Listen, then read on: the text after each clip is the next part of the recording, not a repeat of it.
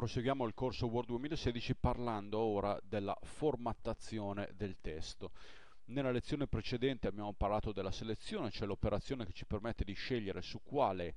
porzione di documento lavorare, ora parliamo appunto della formattazione, cioè della modifica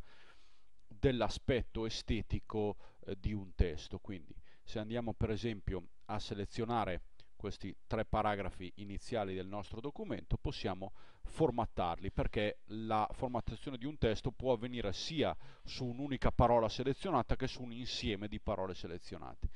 Dove troviamo le opzioni di formattazione del testo? Nel gruppo carattere della scheda Home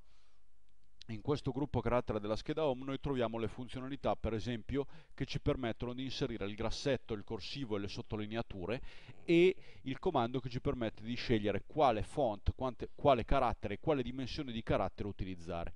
Quindi se noi per esempio dovessimo modificare il carattere calibri con un altro carattere come può essere Arial,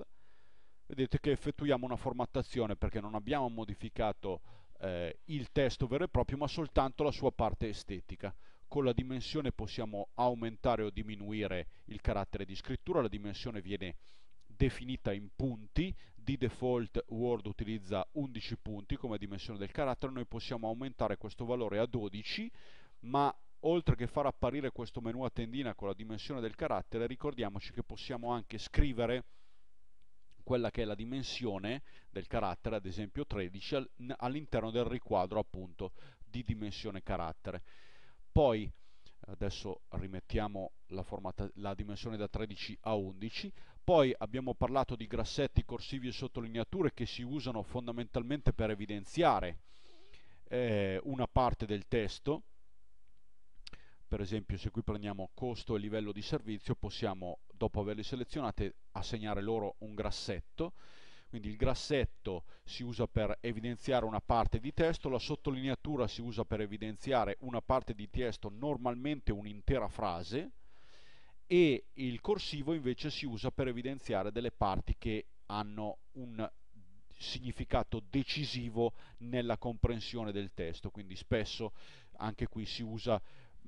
il corsivo per evidenziare alcune parole che danno appunto il senso a quella frase. Non bisogna comunque mai abusare di questi stili perché alla lunga eh, infastidiscono la lettura.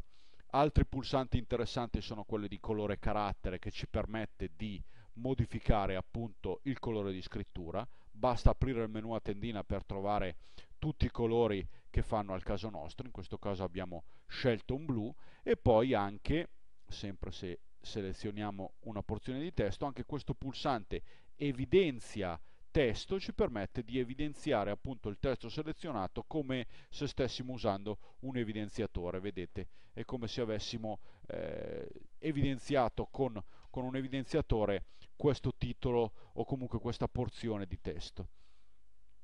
Un altro stile particolare che si può utilizzare all'interno dei nostri documenti di Word è lo stile barrato, ecco il, ecco il um, pulsante che permette di, appunto di barrare una parola come se la volessimo cancellare ma rendendo visibile comunque la parola che abbiamo cancellato. Questo stile si usa molto nei documenti legali mentre in altri ambiti è praticamente inutilizzato. Teniamo presente che pulsanti come grassetto, corsivo, sottolineatura e barrato sono dei pulsanti acceso-spento, quindi ovviamente se è stato assegnato questo stile a una porzione di testo, basta riselezionarla e spegnere lo stile in questione per tornare alla situazione precedente. Noi adesso o per meglio dire in precedenza avevamo modificato il font di scrittura, il carattere di scrittura, teniamo però presente che all'interno di uno stesso documento si usa sempre lo stesso carattere, l'unica distinzione tra tipi di carattere la si può fare per i titoli e per le porzioni di testo, ma all'interno del testo si utilizza sempre lo stesso carattere di scrittura, quindi ovviamente noi adesso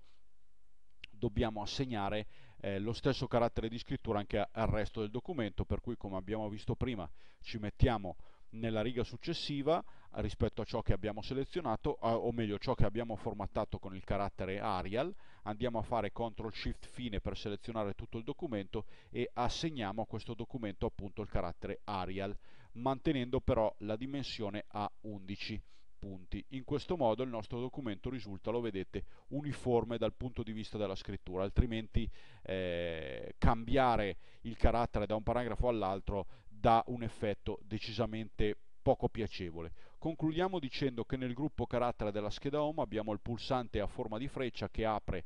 la finestra di dialogo della quale abbiamo già parlato in precedenza, qui troviamo delle opzioni aggiuntive, per esempio l'ombreggiatura o il contorno, che sono delle opzioni estetiche, eh, dicevamo, in più rispetto a quelle che troviamo nella scheda carattere, e poi nella linguetta, nelle cavaliere avanzate, troviamo altre opzioni ancora, ad esempio le proporzioni e soprattutto la spaziatura del nostro testo che permette di aumentare o ridurre con le voci espansa ridotta la distanza fra le lettere del testo che abbiamo selezionato.